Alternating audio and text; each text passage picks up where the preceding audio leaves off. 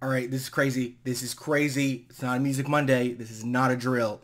Uh, it's been four years. It's been four years, give or take a couple days, maybe a week, since all this started for me. So let's celebrate the fact that it's been four years. I'm still here and I'm currently cancer free. So this is awesome. Let's get to it, guys.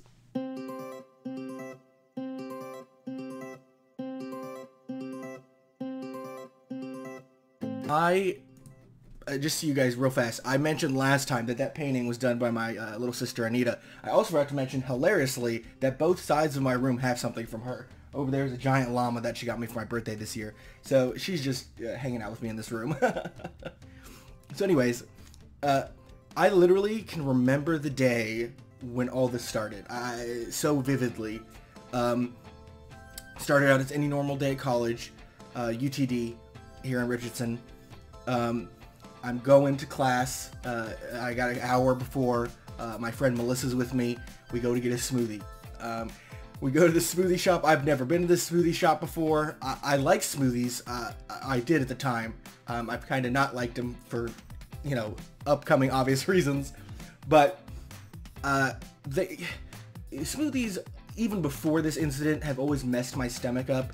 Uh, it's the acidity uh, from uh, the orange juice usually. I love smoothie. Like I, I wish they didn't destroy my stomach because they don't react well, the acidity. So there's certain smoothies I can have, the more natural ones, but the ones like Jamba Juice and stuff like that, which was kind of the place we went to, those usually don't work well for my stomach. Um, oh, usually I think they put milk in it too, and I'm lactose intolerant, so that also doesn't help.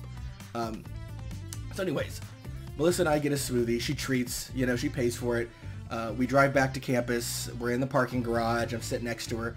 I'm feeling completely fine. Like literally at that moment, nothing was out of the norm for me. Uh, Melissa's like, I'll see you later. Going to class. She gets out of the car. I'm on my phone for a little bit. Doot, doot, doot, doot. And all of a sudden, I start to get out of the car. And I'm like, oh my gosh. Like, I feel miserable. All of a sudden, literally just standing up out of the car, I felt so bad.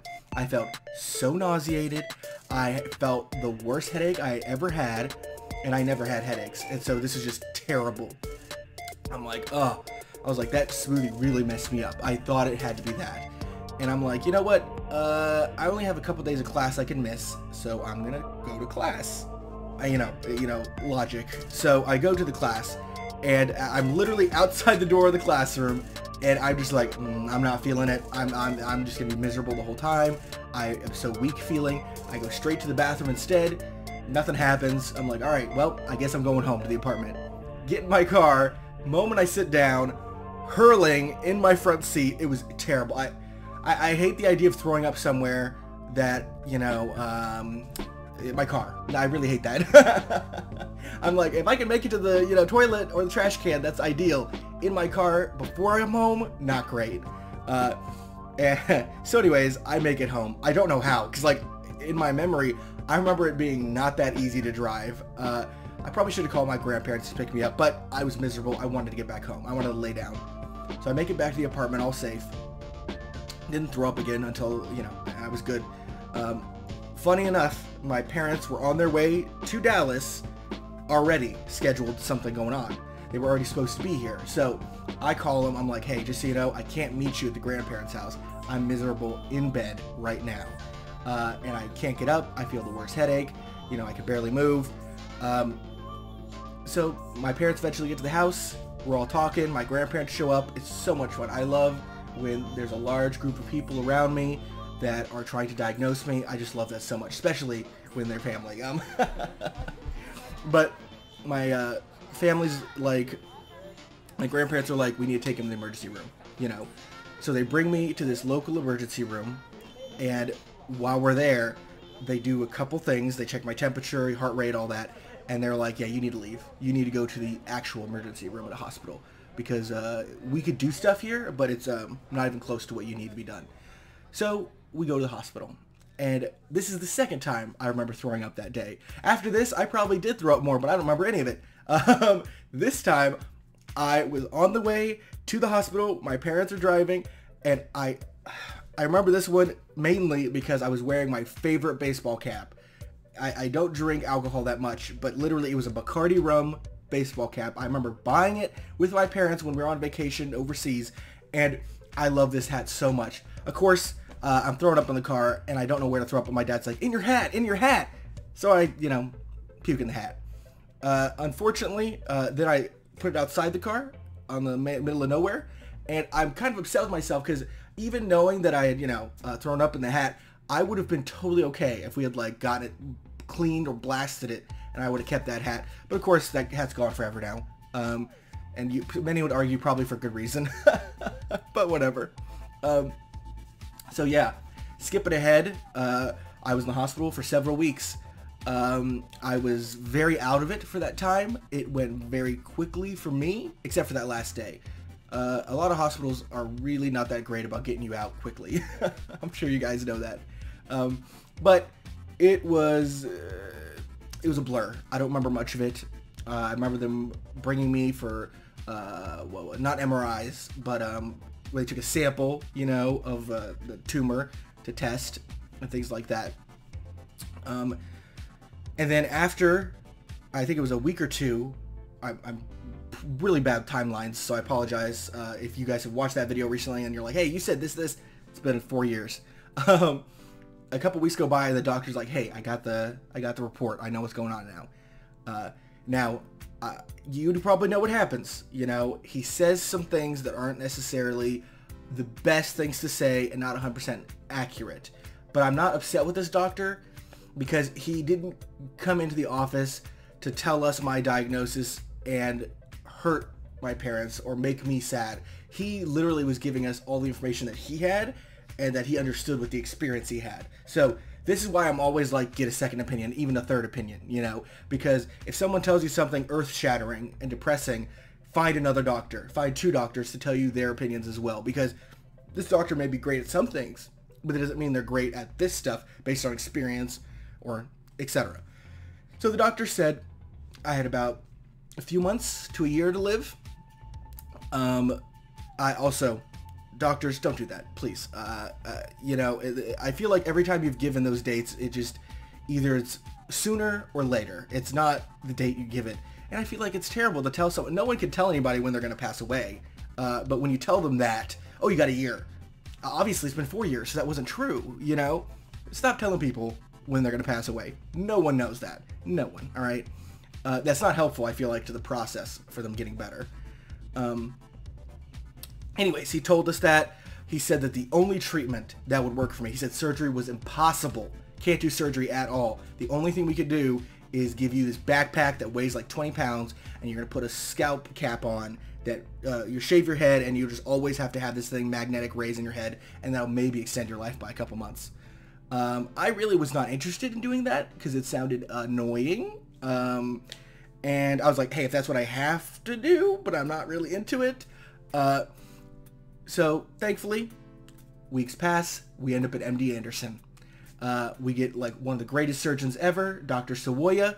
Uh, he says there's no reason to be upset with that doctor in Dallas.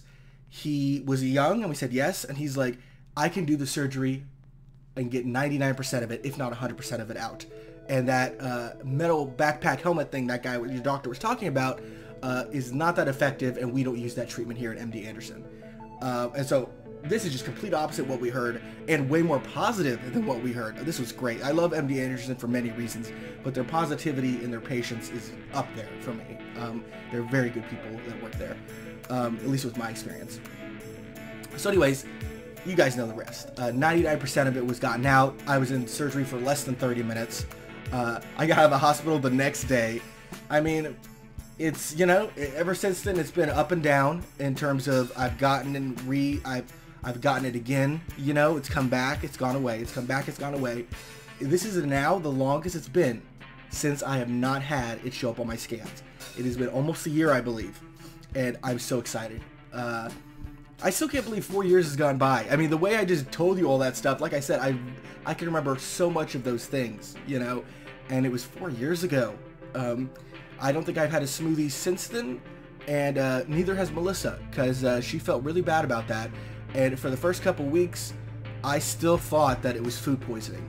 Um, it was not food poisoning. Um, so yeah, at the end of the day, I remember getting emotional once during that whole thing.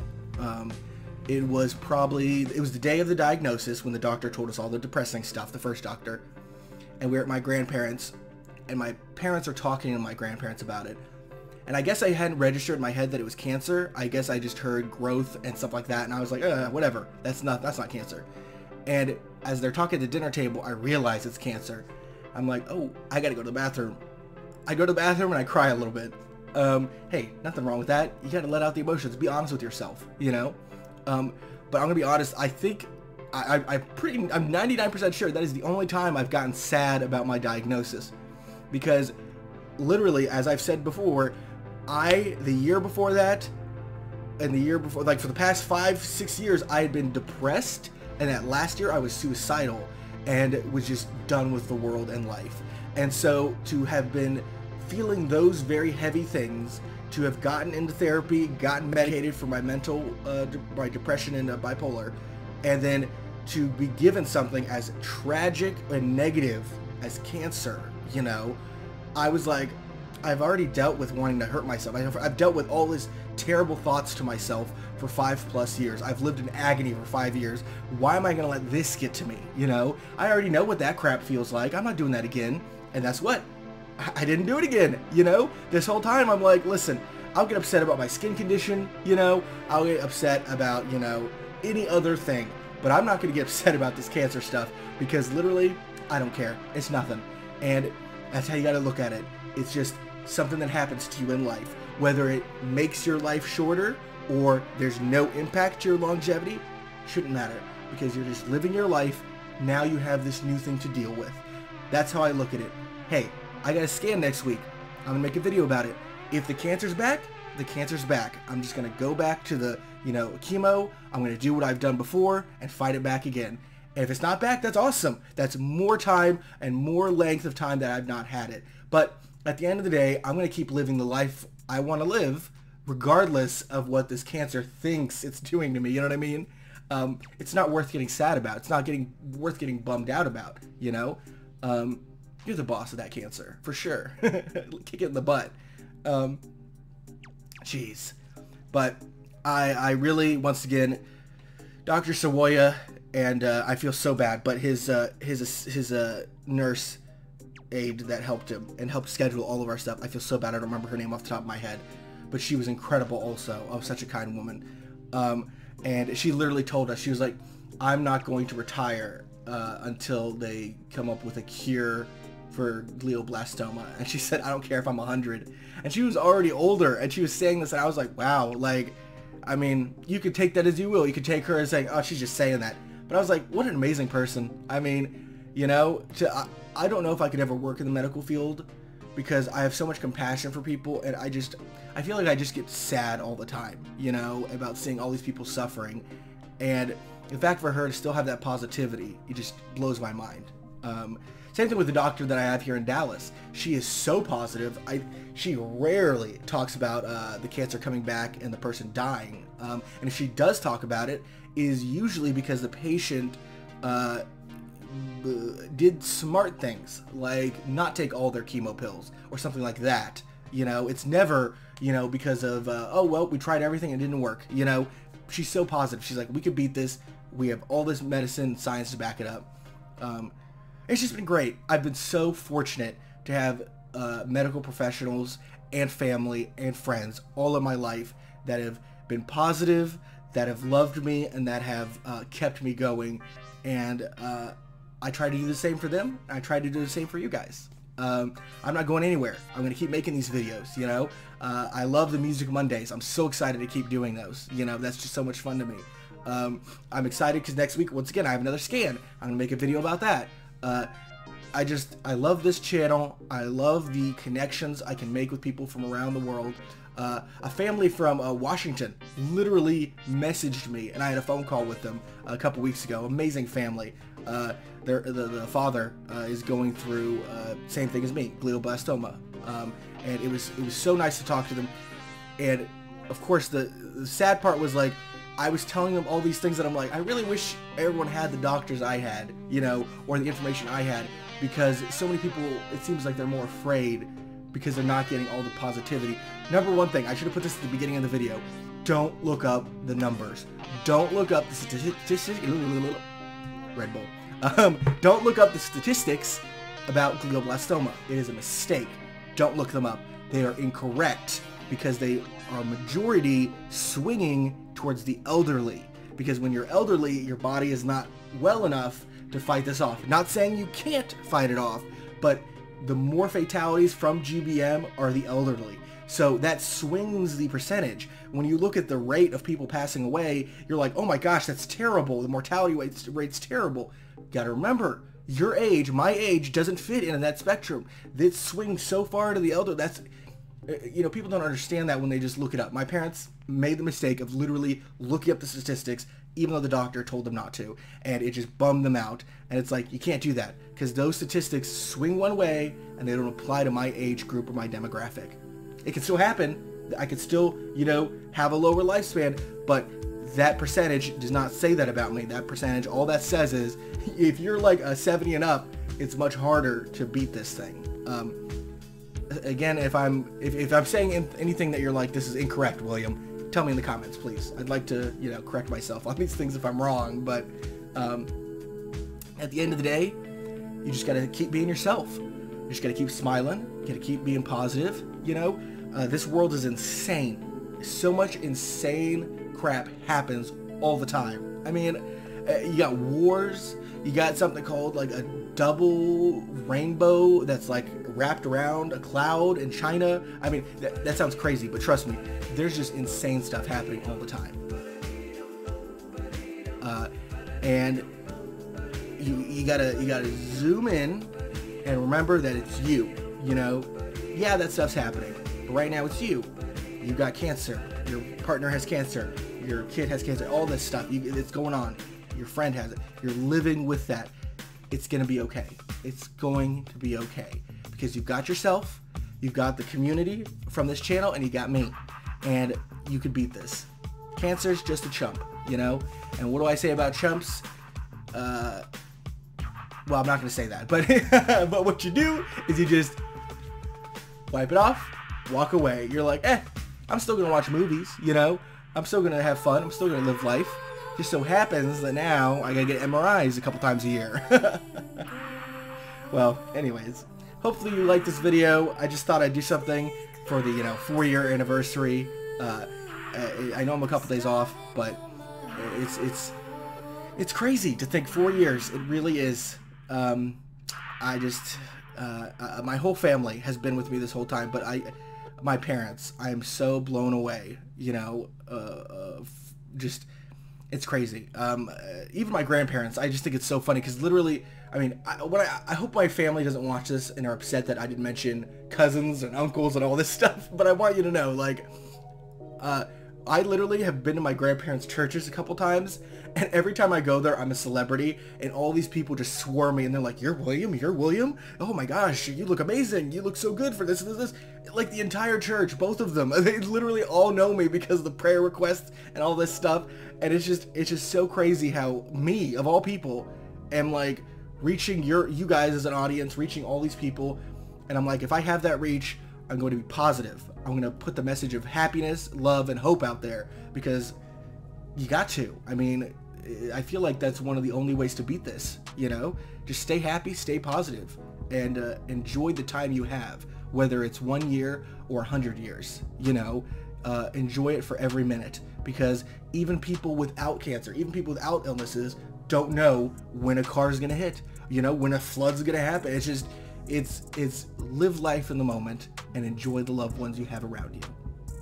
You guys have a good one. Stay positive and happy, and I will see you in the next one.